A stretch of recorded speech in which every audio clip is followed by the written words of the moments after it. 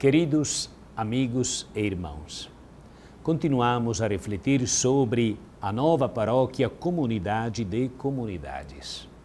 Esta conversão pastoral de que estamos falando desde o documento de Aparecida e também proposta pelo Papa Francisco no, na encíclica Evangelii Gaudium, exige que nós consigamos devolver aos leigos o lugar que lhe é próprio a missão dos leigos deriva do batismo e do sacramento da confirmação. A sua ação dentro das comunidades eclesiais é tão necessária que sem ela o próprio apostolado de nós, pastores, padres e bispos, não pode conseguir, na maior parte das vezes, todo o seu efeito. O Concílio Vaticano II tratou da atuação dos leigos na vida da Igreja e no mundo, testemunhando Cristo além dos limites da comunidade de fé e colaborando diretamente com as atividades pastorais.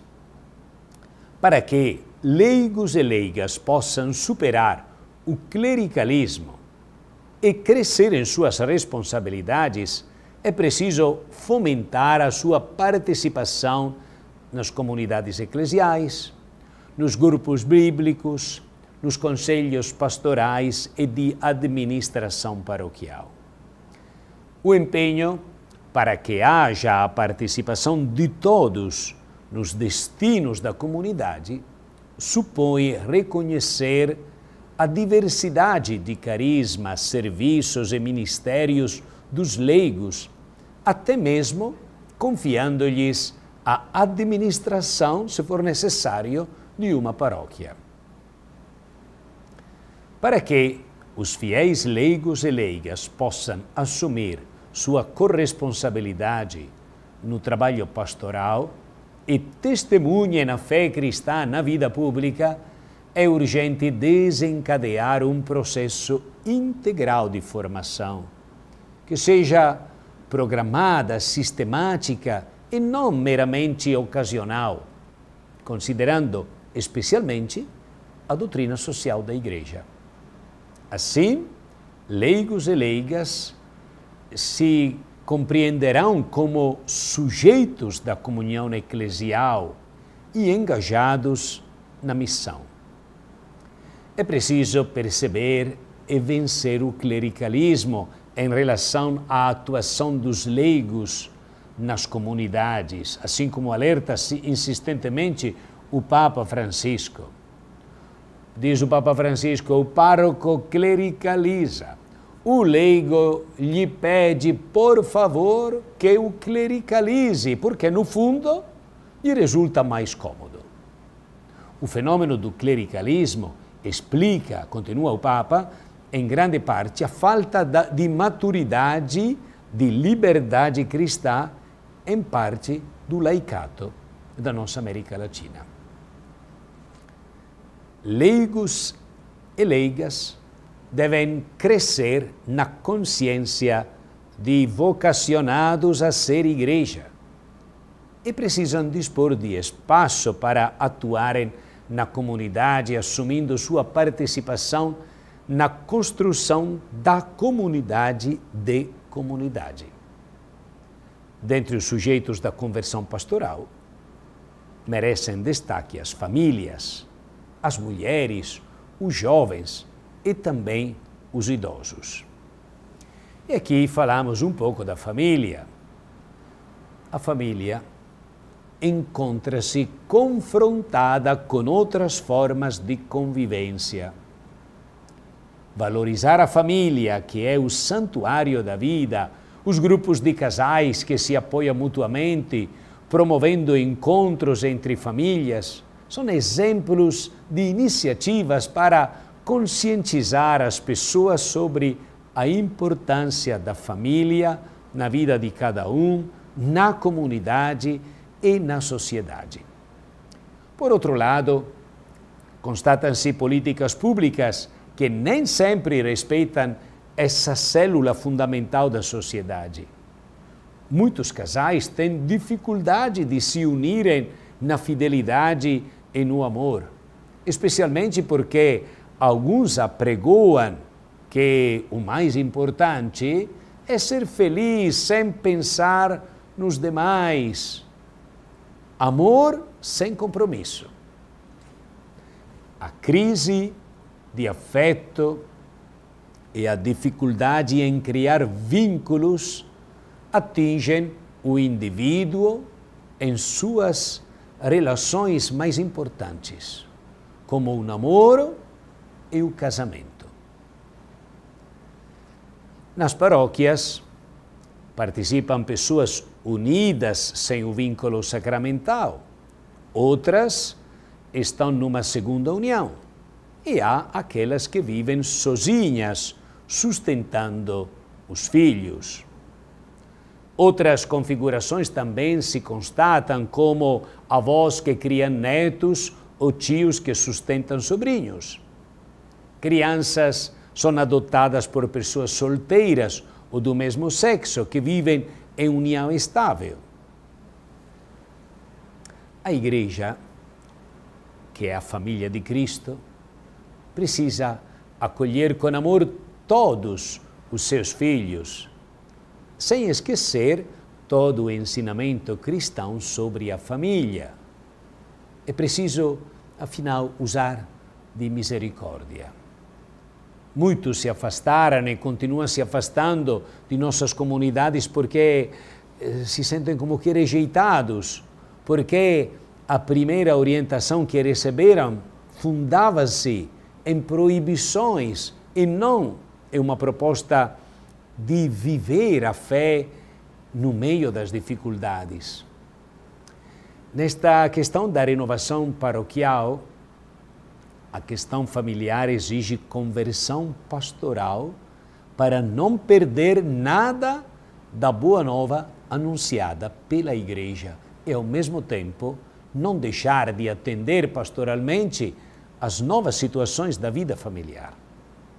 Acolher, orientar e incluir nas comunidades aqueles que vivem numa outra configuração familiar. Estes são desafios para nós inadiáveis.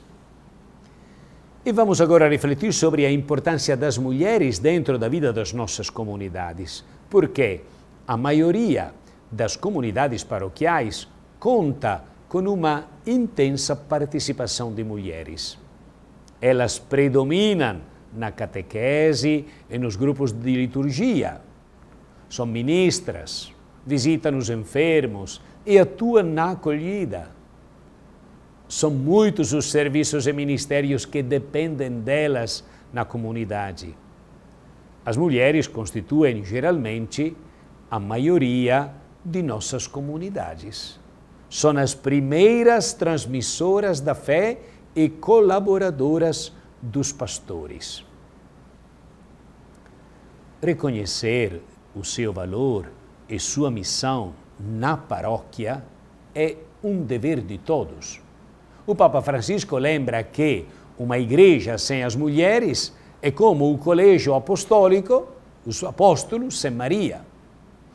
O papel das mulheres na igreja não é só a maternidade, a mãe de família, mas é mais forte. É precisamente o ícone, a imagem da Virgem Maria, de Nossa Senhora, aquela que ajuda a crescer.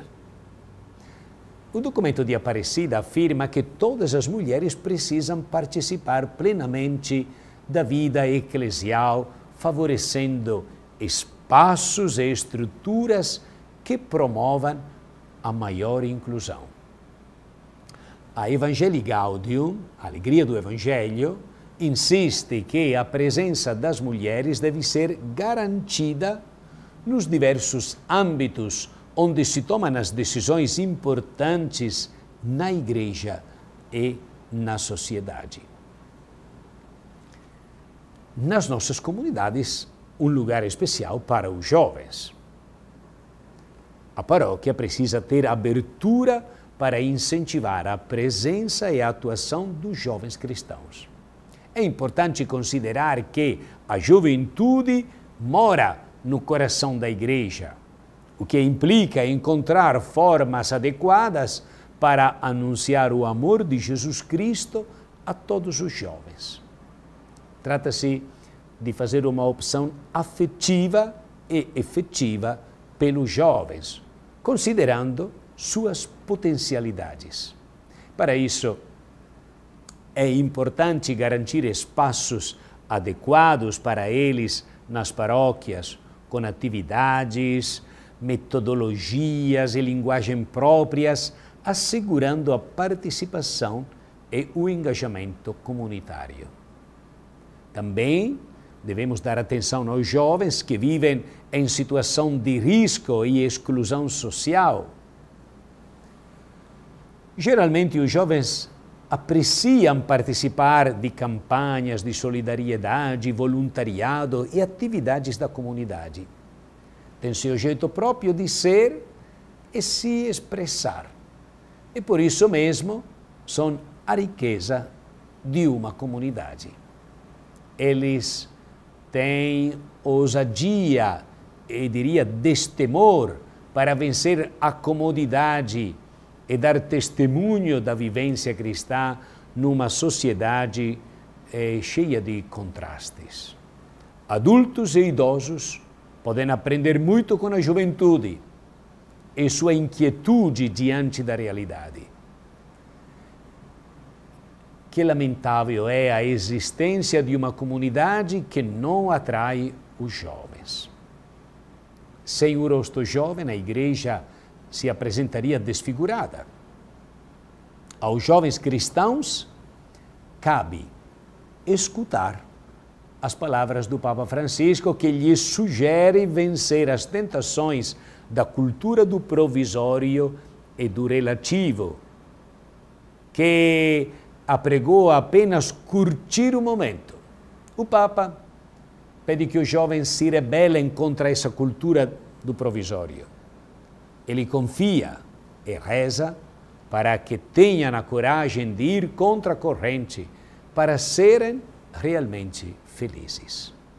Que Deus abençoe a todos, que todos encontrem seu lugar importante em suas comunidades nesta visão de nova paróquia.